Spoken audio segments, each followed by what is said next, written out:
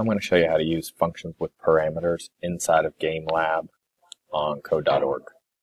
So when I talk about functions with parameters, I'm talking about uh, this big block here that has the little spot in parentheses there, and this one here that has the spot in parentheses.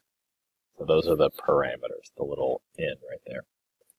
So first I just need to set up something to play with. So I'm going to make a variable called blob, and I need to make him look like something. And I picked this guy out earlier. Where's my blob? Oh, I can't find him anymore. Let's see. Maybe because he's not an animal. He is a character. Okay, this bubbly thing would make a nice blob. And notice it has several frames, so that's why you can see that going on and then I need to draw them on the screen. And when I do that, oh, I forgot to tell it to use that picture. Alright, when I do that, you see that pattern get stuck. In order to see it actually bubbling, we need a background. So let's put that inside the draw loop. And now we've got our little bubbly character. Now what I'd like to do is I want to turn him red. Let's see here, I'm looking for sprite tint. So I'm going to say make blob tint to red with a color in quotes. And I also want to put the word red on the screen. So first I'll make the all of my text quite a bit larger.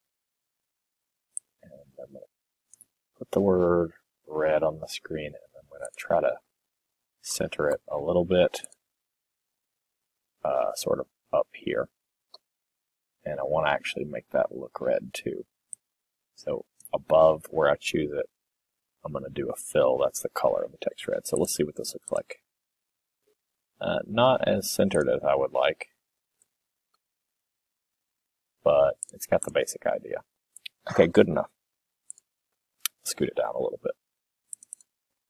All right, so that took the actual writing of the word took two lines, and the changing of the color took another line, and all three of them had red. So what I'd like to do is write a function that does all that for me. So I'm going to come here to functions.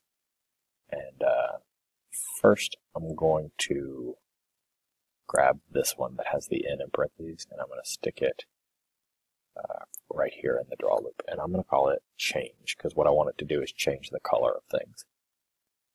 And right here in parentheses, I have to tell it what color I want it to change. I want it to change red as of right now, the computer and the program, the website, has no idea what change means. So this big one is where I define what this function means. So you want to define that outside of your draw loop. I typically do it at the bottom. And I'm going to say change is always going to take a color. All right? So let's take all these guys and drag them down here. Okay, so um, whatever color that is written here in the code is going to get passed to the same location. So what I want to do here is just put the word color without quotes. Same here. And the same here. And if this is the first time you've seen functions with parameters, this is going to look a little strange, but I'll walk you through it.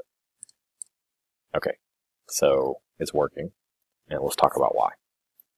Okay, whenever uh, the program sees line 6 that says change function with the parameter red, when I say parameter, I just mean what extra information are you giving the program to run. It's going to jump down here to the definition on line 8, and it's going to say whatever they put in parentheses, we're going to pass it to all the spots that share this name. So if it sees color inside the definition, it's going to put whatever's here. So it sees color the first time, it puts red. It sees color to fill the text, it puts red. It sees color to actually write the word on the screen, it puts red. And that doesn't seem extra useful just yet. But what it allows us to do is if we want to change something from red to blue, now it's going to pass the word blue all the way down to here, here, and here with just one change. And this gets even cooler when combined uh, with um, some conditionals. So why don't we say if the B key is pressed, then change to blue. And I'll copy that and paste it.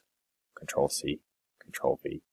And now we'll say if the R key is pressed, change red. So you'll see nothing until you press B and then R. And if you wanted to have them show up all the time, you could just take the draw sprites and put them back up here. Let's try that. B, R, and to add even more colors, all you'd have to do is copy this and paste it. And you could say O for orange. In this case, if they press O, it's going to run this change function, which you see here, but it's going to pass the word orange in quotes into every spot that you see color, right here, right here, and right here. Let's run that. R, B, O. It's funny that orange kind of looks greenish, but I think what we're doing is we're tinting the eyes and then, and then converting from there. Uh, let's try uh, what's another? Well, let's just see what happens with green. Red, blue, G for green. Yeah. And so this is an example of functions with parameters.